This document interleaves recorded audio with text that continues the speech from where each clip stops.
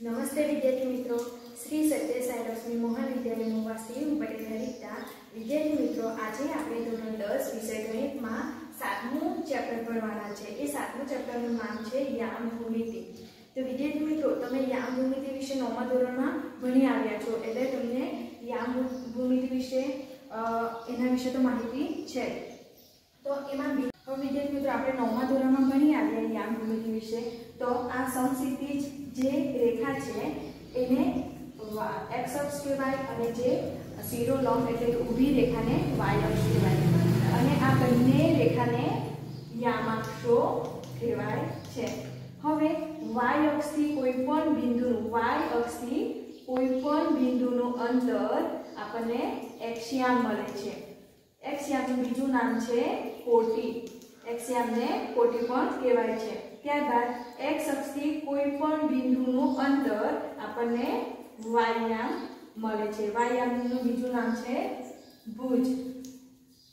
એ તમે નવમા ધોરણમાં જ આવ્યા છો. એક્સિયામને કોટી પણ કહેવાય અને વાયામને ભુજ પણ કહેવાય.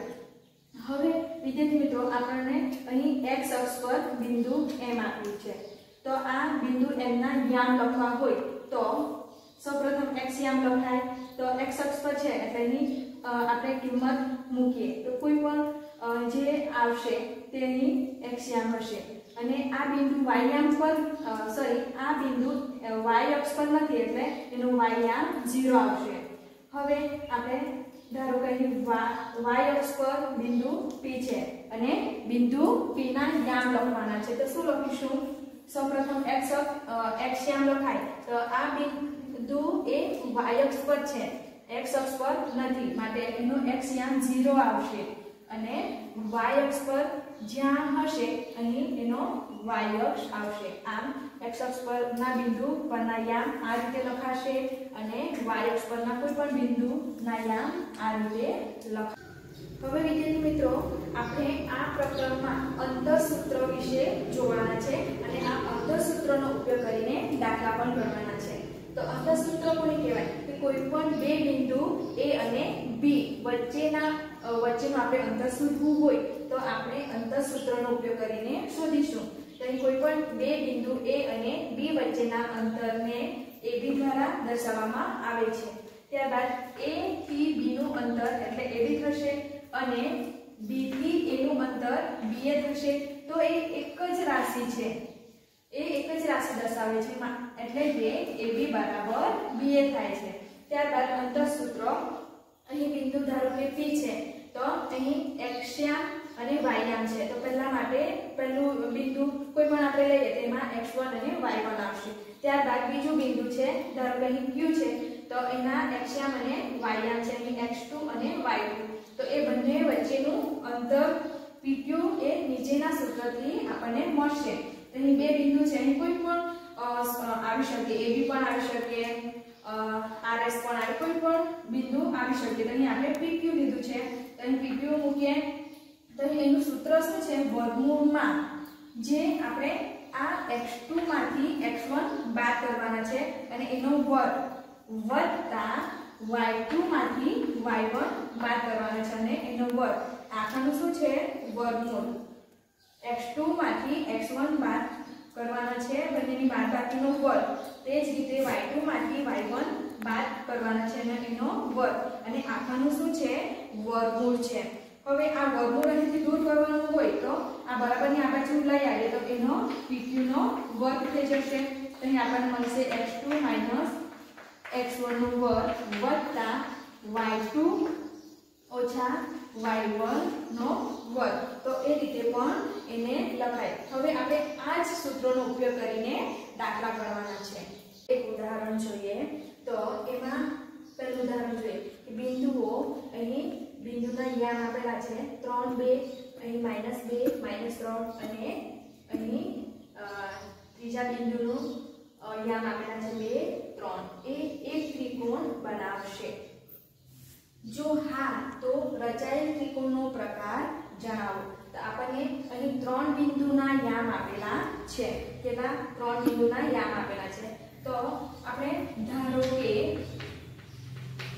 પહેલું બિંદુ પી લઈએ, તો એના યામ છે ત્રણ, બે. બીજું બિંદુ ક્યુ લઈએ, તો એના યામ છે માઇનસ બે, માઇનસ ત્રણ. અને ત્રીજું બિંદુ આર લઈ પી ક્યુ આર લઈએ એના યામ છે બે ને ત્રણ આપણે કોઈ પણ અહીં એ બી સી પણ મૂકી શકીએ કોઈ પણ એબીસીડીનો લેટર મૂકી શકીએ તો અહીં પી ક્યુ આર લીધા તો આ બિંદુઓ છે એ બિંદુના યામ આપેલા છે હવે આપણે શું કરવાનું? અંતરસૂત્રનો ઉપયોગ કરીને આપણે એનો ઉકેલ મેળવીશું. તો અહીં અંતરસૂત્ર જોઈ લે આપણે અંતરસૂત્ર શું છે? કોઈ પણ બે હોય, ધારો કે અહીં પીક્યુ માટે લઈએ. સૌપ્રથમ પીક્યુ માટે લઈએ, તો શું હતું? વર્ગમૂળમાં x2 માંથી x1 બાદ કરે અને એનો વર્ગ વત્તા y2 માંથી y1 બાદ કરવાનો એનો વર્ગ. આખાનો વર્ગમૂળ હતું. તો આ અંતરસૂત્ર છે. હવે સૌપ્રથમ આપણે આ pq લઈએ. આ વચ્ચેનું અંતર શોધીએ તો અહીં શું થશે? આ x1 થશે. અને આ y1 ત્યારબાદ અહીં x2 થશે અને આ y2 થશે. હવે આપણે કિંમત મૂકીએ. PQ બિંદુ લીધું. એટલે એના આ x1 y1 two x2 y2 થશે. તો આપણે કિંમત મૂકી દઈએ સૂત્રમાં. અહીં x2 x2 કેટલા છે? -2 ઓછા x1 કેટલા છે? તો 3 એનો વર્ગ. વત્તા હવે y2 y2 કેટલા છે? તો -3 ઓછા y1 y1 કેટલા છે? તો 2 વિદ્યાર્થી મિત્રો, એ રીતે આપણે સૌપ્રથમ x1 y1 x2 y2 મૂકી દેવાના તેના પછી આપણે સૂત્રમાં મૂકતા સરળતા પડે હવે અહીં ઓછા ઓછા ઓછા ઓછા એટલે સરવાળો થાય તો ત્રણ ને બે કેટલા થાય? પાંચ. મોટી સંખ્યા ત્રણ છે અને એના આગળનું ચિહ્ન માઇનસ છે માટે અહીં માઇનસ આવશે. તો એનો વર્ગ. વત્તા અહીં પણ માઇનસ માઇનસ પ્લસ થશે એટલે સરવાળો થશે તો ત્રણ ને 2 5 મોટી સંખ્યા આગળનું ચિહ્ન માઇનસ છે એટલે અહીં પણ માઇનસ આવશે. સોરી વર્ગ લખવાનું બાકી છે. અહીં વર્ગ આવશે, અહીં પણ ત્યારબાદ આગળ હવે અહીં માઇનસ પાંચનો વર્ગ છે. માઇનસ પાંચ ગુણ્યા માઇનસ પાંચ કરીશું તો પાંચ પચાસ પચીસ ઓછા ઓછા વત્તા થઈ જાય. કે આવ્યા? પચીસ. ત્યારબાદ વત્તા. અહીં પણ એ જ રીતે પચીસ થશે. તો કેટલા આવ્યા? પચીસ વત્તા પચીસ પચાસ. હવે એનો જવાબ આવે છે સાત પોઈન્ટ જીરો સાત. વિદ્યાર્થી આપણે આ પચાસનું વર્ગમૂળ જે જવાબ આવે છે એ આપણે યાદ રાખવાનું છે. એને પચાસનું વર્ગમૂળ કાઢવાની રીત છે એ ઘણી લાંબી છે. એના કરતાં આપણે આ જવાબ જ યાદ રાખવાના છે. તો પચાસનું વર્ગમૂળનો જવાબ શું આવે છે? સાત પોઈન્ટ જીરો સાત. હવે આપણે પહેલા પીક્યુ મળ્યા. એ જ રીતે હવે આપણે શોધીશું ક્યુઆર હવે શોધીશું આપણે ક્યુઆર તો અહીં બદલાશે અહીં બદલાશે ક્યુ આર હવે વિદ્યાર્થી મિત્રો, આ પણ બદલાશે. હવે આપણે ક્યુ આર લીધા. તો ક્યુ પહેલા ક્યુ બિંદુ લીધું, એટલે એમાં x1 અને વાય વન થશે. ત્યારબાદ આર લીધો, એટલે અહીં x2 y2 હવે આપણે કિંમત મૂકીએ. હવે આપણે કિંમત મૂકી દઈએ. એક્સ ટુ કેટલા છે? તો 2 x1 માઇનસ બે. આખાનો વર્ગ. વત્તા y2 કેટલા છે? તો ત્રણ. ઓછા y1 માઇનસ ત્રણ. આખાનો વર્ગ. વર્ગમૂળમાં અહીં બે. હવે વિદ્યાર્થી મિત્રો, ઓછા ઓછા શું થાય? વત્તા. તો એનો વર્ગ. વત્તા. અહીં પણ ત્રણ. ઓછા ઓછા વત્તા ત્રણ. આખાનો વર્ગ.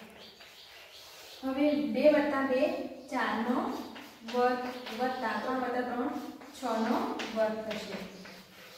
4 નો વર્ગ સોળ અને 6 નો વર્ગ 6 6 36 એનો જવાબ કેટલા આવશે તો? 52 અને 52 નું વર્ગમૂળનો જવાબ આવે છે 7.21 તો આપણે એ પણ યાદ રાખવાનું છે. 52 નું વર્ગમૂળ આવે છે 7.21 તો એ રીતે આપણને ક્યુઆર મળી ગયા. કારણ કે આપણે અહીં ત્રિકોણ આપેલા છે. તો ત્રિકોણ એ પી ક્યુ આર તો એની બાજુ પી ક્યુ થશે, ત્યારબાદ એની બાજુ ક્યુ આર થશે અને ત્યારબાદ આ બાજુ પી આર એટલે આપણે આ ત્રણે બાજુ શોધવાની છે. ત્રણે બાજુ શોધવાની છે ને? સૌ પ્રથમ આપણે પી ક્યુ શોધ્યા, ત્યારબાદ ક્યુ આર શોધ્યા. હવે શોધીશું પી આર પી આર હવે આ કરી નાખીએ. હવે આપણે PR શોધવાના છે. પહેલા બિંદુ પી લીધું. એટલે પી નો અહીં x1 અને y1 થશે. ત્યારબાદ r લીધા. એટલે અહીં x2 અને y2 એ રીતે સૌપ્રથમ તો આપણે x1 y1 x2 y2 એ મૂકી દેવાના હતા. આપણે આ સૂત્રમાં મૂકતા સરળતા પડે. જે પહેલા બિંદુ લીધું હોય એને x1 અને y1 નામ આપવાનું. અને ત્યારબાદ બિંદુ લીધું હોય એને x2 y2 નામ આપવાનું હવે અહીં x2 કેટલા છે તો 2 ઓછા x1 કેટલા છે તો 3 એનો વર્ગ વત્તા હવે y2 કેટલા છે 3 ત્યારબાદ ઓછા y1 એટલે 2 નો વર્ગ હવે 2 ઓછા 3 એટલે 3 માંથી 2 જાય તો 1 મોટી સંખ્યા આગળ માઇનસનું ચિહ્ન છે એટલે માઇનસ આવશે 9 વર્ગ વત્તા 3 માંથી 2 જાય તો 1 નો વર્ગ હવે માઇનસ 1 ગુણ્યા માઇનસ 1 તો ઓછા ઓછા વત્તા 1 થઈ જશે. ત્યાર પછી વત્તા 1 નો વર્ગ એક જ વર્ગમૂળમાં બે. હવે એનું એક પોઈન્ટ એકતાલીસ. બેનું વર્ગમૂળ તો જવાબ શું આવે છે? 1.41 તો આ પણ આપણે યાદ રાખવાનું છે. તો આપણને એ રીતે પીક્યુ પી પીક્યુ ક્યુઆર અને પીઆર એટલે બધી ત્રણેય બાજુ આપણને મળી ગઈ. હવે વિદ્યાર્થી મિત્રો આપણને પીક્યુ બરાબર વર્ગમૂળમાં 50 QR બરાબર વર્ગમૂળમાં 52 અને PR બરાબર વર્ગમૂળમાં 2 મહિના હવે આપણે અહીં વર્ગમૂળ દૂર કરવું હોય તો વર્ગમૂળને આપણે લઈ આવીએ તો એ આ PQ નો વર્ગ થઈ જશે તો અહીં 50 જવાબ આવશે. ત્યાં જ તે જ રીતે અહીં વર્ગમૂળ દૂર કરીએ તો વર્ગમૂળ બરાબરની આ બાજુ આવશે તો એનો વર્ગ થશે. તો અહીં 52 જવાબ મળશે અને એની 2 મળશે. હવે જુઓ, આપણે આ 50 અને 2 નો સરવાળો કરીએ એટલે કે PQ નો વર્ગ વત્તા અહીં PR નો વર્ગ. બરાબર, આપણને શું મળશે? અહીં 50 વત્તા બે કરીશું તો 52 મળશે, એટલે આપણને QR નો વર્ગ મળશે. આ શું છે? બે બાજુના વર્ગનો સરવાળો બરાબર ત્રીજી બાજુના વર્ગ બરાબર થાય છે. એ શું છે? પાયથાગોરસનો પ્રમેય પાયથા પાયથાગોરસનો એક પ્રમેય છે. અહીં આપણને શું મળે છે? બે બાજુના વર્ગનો સરવાળો એ ત્રીજી બાજુના વર્ગ બરાબર થાય છે. એટલે કે પાયથાગોરસનો પ્રમેયનું પ્રતીક આપણને મળે છે. માટે અહીં